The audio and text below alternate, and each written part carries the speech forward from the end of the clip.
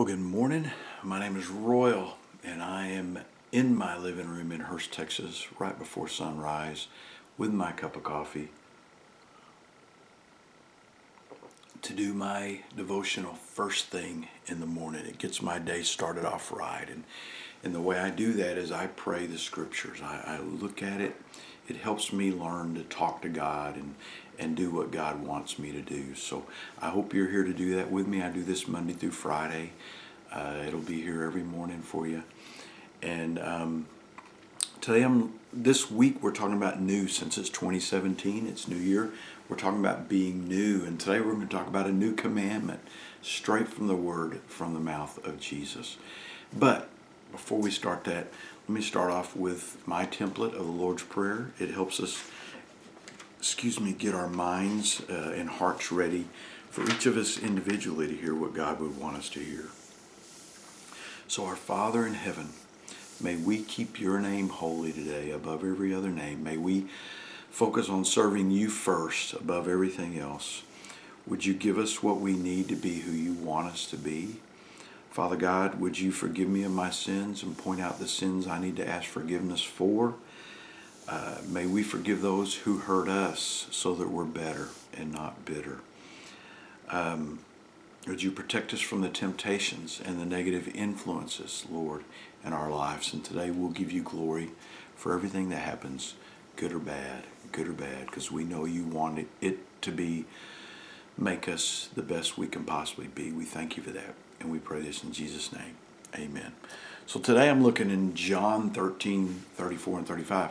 This is actually, if your Bible's a red letter Bible, this is something Jesus says. This is a direct commandment from Jesus, as a matter of fact. Even says in the first verse. So talking about new for this week or this year, and it's uh, Wednesday, the middle of the week. Here we go. Verse 34. So now, Jesus says, I am giving you a new commandment. Wow. Don't we have enough commandments? I'm giving you a new commandment. This one's great. This one's great. Love each other. Who? Love each other just as I have loved you, you should love each other. Now, a lot of people kind of look at love as a suggestion. You know, if I want my life to be better and the world's going to be better, I, I probably ought to love more people. But no, if you're a Christian, if you're a Christ follower, if you're not, this doesn't apply to you. It would be good for your life, but you're commanded to love. And we're commanded to love the way Jesus loved, sacrificially, not just this puny surface level love. We're commanded to sacrificially love. He says, Your love for one another will prove to the world that you are my disciples. So there you go. If if if you were to get up every day and ask yourself, Lord, am I being a good follower of yours today? Am I being a good disciple? Am I trying to be more like you? Then you'd have to ask yourself, am I loving? Am I loving others? Am I loving other Christians? Am I loving people that I work with? Am I loving my wife or, or husband? Am I being who I need to be in the love area, the sacrificial love area, the kind that Jesus showed us how to do? Isn't that awesome? That's your that's a litmus test. That's how you'll know you're my disciples. They'll look at the church and they'll go, "Hey, these people love each other. They must really be Jesus's disciples." We need that right now, don't we? All right, dear heavenly Father, here's my prayer for today. Thank you for loving me sacrificially.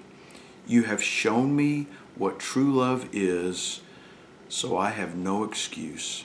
I will obey your command to love people the way you love me people will see my love for others and they will know that I am your disciple. That's my prayer for you. Uh, that's my prayer for me. Thank you for joining me today. I'll be back tomorrow, Thursday. Uh, if you um, uh, leave some comments and I'll reply or pass this on to someone else who needs encouragement. I hope it is encouraging for you. That's that's I do it not just for me. I do it for you as well. But in the meantime, I'll see you tomorrow. The good Lord willing, the creek don't rise, But until then, remember to love God and love people. You can change the world, and it will start with you.